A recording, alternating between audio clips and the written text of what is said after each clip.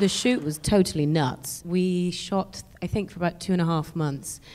And bless Ari, he was dealing with possibly 100 and 120 people, additional extras and actors there, all speaking in three different languages, and he was the captain of the ship.